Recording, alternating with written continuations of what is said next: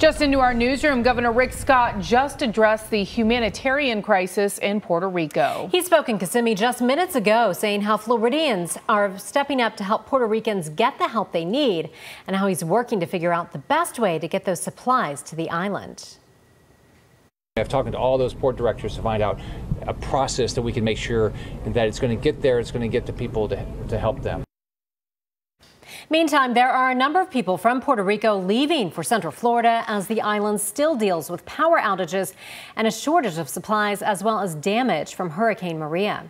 News 6's Vanessa Araiza joins us live now from Osceola County. And Vanessa, what's going on there?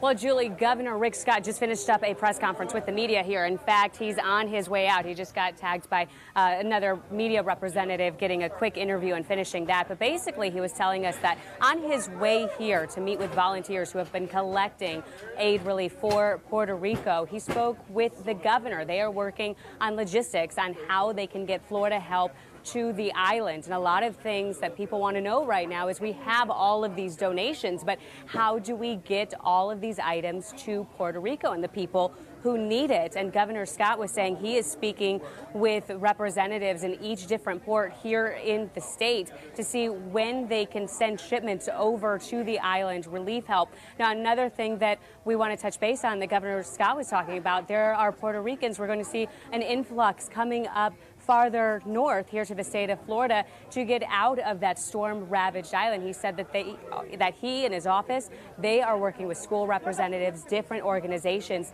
to try to find a way to house these uh, people, make sure that they have jobs, make sure that they have a roof over their head. And that's a big concern, especially for uh, other organizations, Latin organizations here in the Central Florida area. We actually spoke with the president of one of those Hispanic organizations. She says they, like government government officials are working with other agencies to get prepared. Take a listen. We have been checking to see how, as an affiliate of them, we are going to be able to have counselors because we have our load of work every day.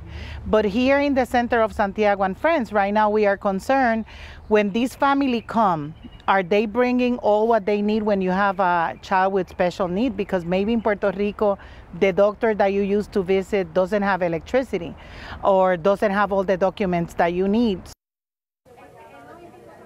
And we brought that question up to an Orange County commissioner earlier today. You're going to hear from her coming up tonight at 5 and 6 and what Orange County is doing specifically in order to try to uh, get ready for that potential influx of Puerto Ricans who will make their way to Florida. Julie? Vanessa, thank you. Vanessa Araiza reporting live. Meantime, Senator Marco Rubio took to Facebook to address the issue with a focus on the federal response to the crisis. I'm concerned about San Juan. The situation there is very bad. We have three or four staffers from my own office that landed there today. They're going to be embedded at the EOC at the convention center, and we'll have a lot more flow of information and the ability to immediately assist because we have personnel there.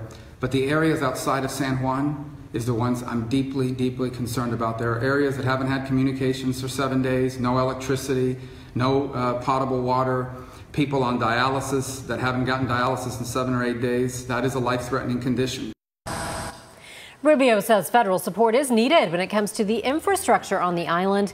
And he says more power crews are needed to restore energy to get life back to normal.